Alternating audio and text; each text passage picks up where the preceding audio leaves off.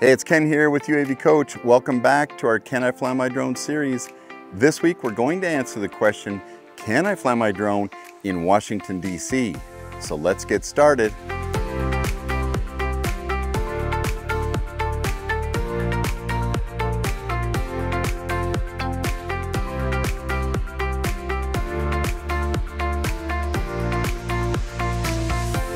This is a question that has been asked by some of our subscribers, so we thought it'd be worthwhile to walk through the details. So let's take a look.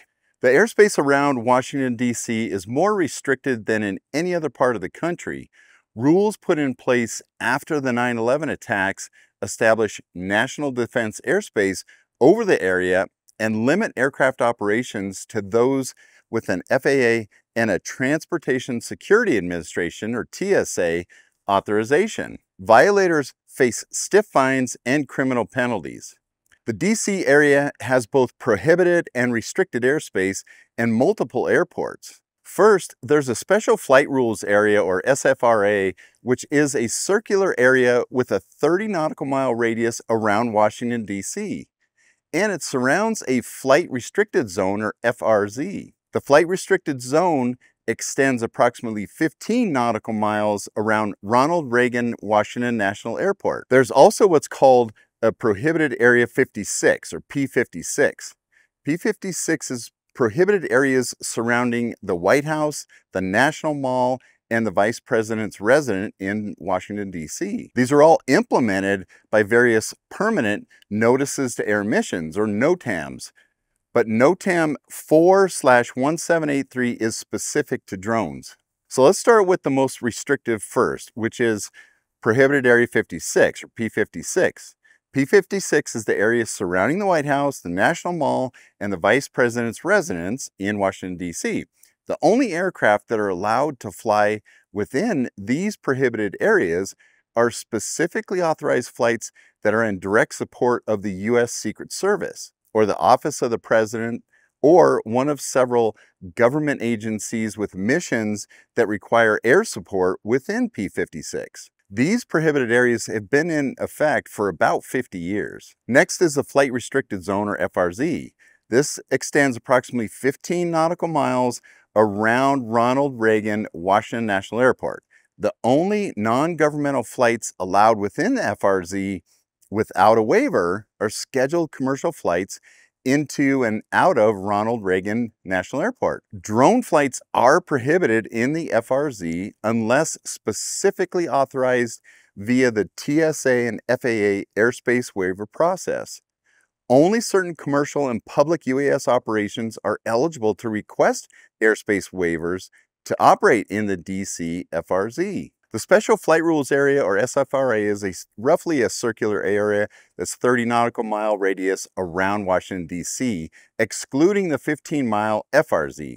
Drone operations are allowed within the SFRA under Part 107 rules or under USC 44809 for recreational operations. Recreational flights cannot be conducted at night or per special visual flight rules and your drone must be registered and marked. All aspects of 44809 must be adhered to. Drone operators are warned that any flight into the FRZ or P56 will result in the DoD, DHS, or DOJ taking security actions of interference, seizure, destruction of your drone, or others.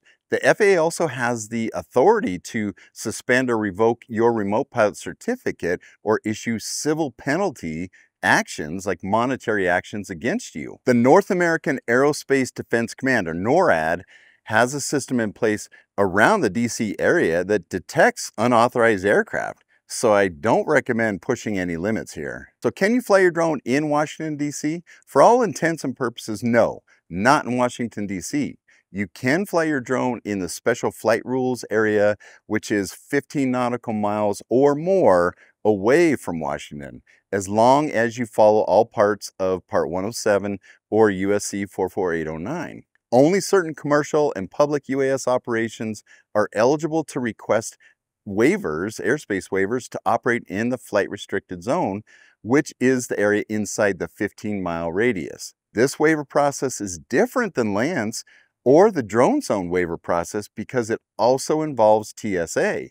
Your pro tip, if you plan to fly your drone anywhere near Washington, D.C., make sure you check and understand the boundaries of the Special Flight Rules area, the Flight Restricted Zone, and P56. You don't want to breach any restricted areas.